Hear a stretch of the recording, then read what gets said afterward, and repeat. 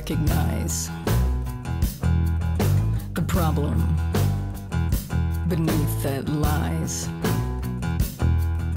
They've all spun it so far and wide. Maybe it's time for you to decide.